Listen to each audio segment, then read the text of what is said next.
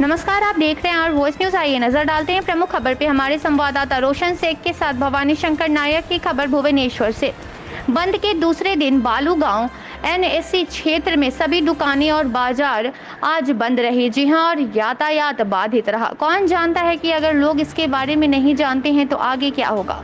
गाँव से शहर तक हर कोई दहशत की स्थिति में है। एक सामान्य अफवाह है कि बालू गाँव, एनएससी क्षेत्र में पुलिस को हर चौराहे पर टूटने से रोकने में मदद मिलेगी। कौन बता सकता है कि अगर लोग खुद इसके बारे में नहीं जानते हैं तो क्या होगा?